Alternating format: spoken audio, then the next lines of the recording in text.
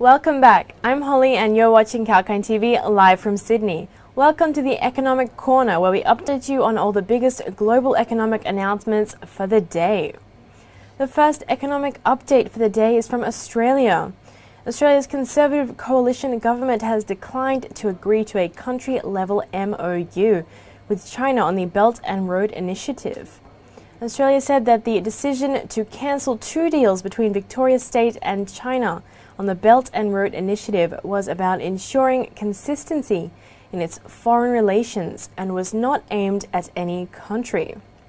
The Chinese embassy earlier criticized the move by Foreign Minister Marise Payne to veto two framework agreements signed by Victoria State as provocative and said it would further damage ties with Australia.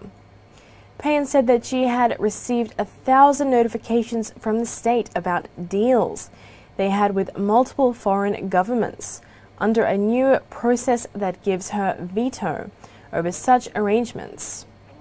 And Beijing had been notified of the decision before it was made public on Wednesday evening.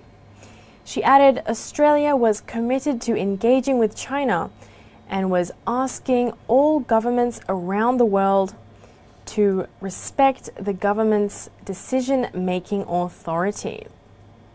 Meanwhile, diplomatic relations between Australia and China have worsened since Canberra called for an international inquiry into the origins of the coronavirus, prompting trade reprisals from Beijing. Payne is visiting New Zealand, where she will meet her counterpart, Nanaia Mahuta. Mahuta on Monday said New Zealand did not support the Five Eyes Security Alliance, which also includes Australia, Britain, Canada, and the United States. Speaking out on the human rights issues. The comments were widely interpreted as referring to Five Eyes joint statements, criticizing China. Payne said that, quote unquote, Australia will continue to emphasize the vital nature of the Five Eyes in security and intelligence. And on the other hand, the EU and India are in talks to build joint infrastructure projects around the world in the latest attempt to compete with China's Belt and Road Initiative. The plan is described as a connectivity partnership in sectors including energy, digital, and transport. India and the EU are expected to unveil the initiative at a virtual summit on the 8th of May.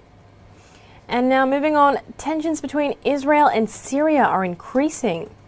The Israeli military said that a missile was launched from Syria, struck Israel's Negev desert region, setting off air raid sirens near the country's top secret nuclear reactor.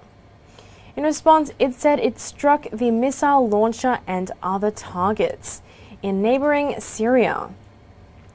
The incident, marking the most serious violence between Israel and Syria in recent years, pointed to likely Iranian involvement.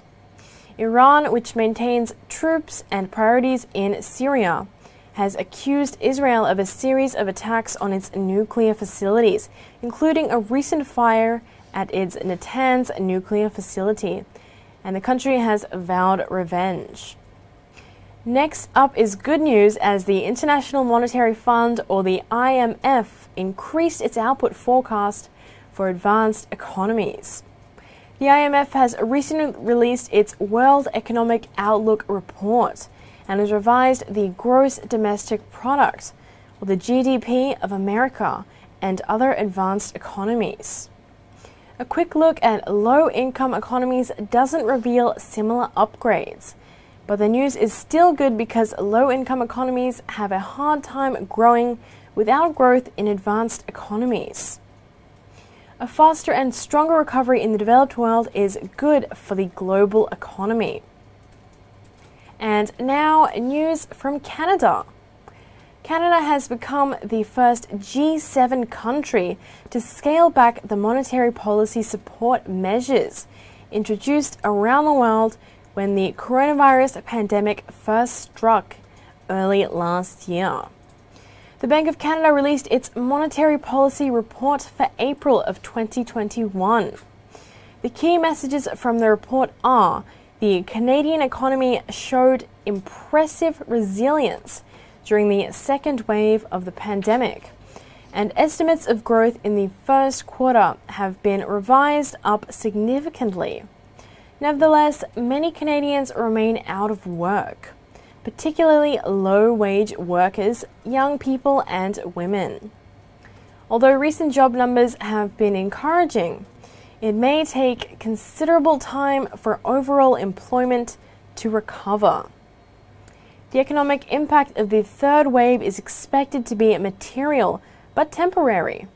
Without the adaptation seen in the second wave and the increasing number of people vaccinated, the effects of the third wave would be most severe and long lasting. In the near term, inflation is expected to rise temporarily to around the top of one of the 1 to 3% inflation control target range largely reflecting base year effects and gasoline price dynamics. The bank tends to look through such as temporary movements. GDP growth is revised up by 2.5 percentage points in 2021, about 6.5%. The Bank of Canada has also cut its monthly bond buying by a quarter and brought forward its projections for when it will meet its inflation target citing a brightening economic outlook despite the temporary setback from an upsurge in COVID 19 infections. The bank will reduce its net purchases of government debt by 1 billion Canadian dollars per week to 3 billion Canadian dollars. And from the economic data announcement front, National Australia Bank or NAB quarterly business survey for March 2021 was released. The quarter one business survey reported further not able business sector improvement.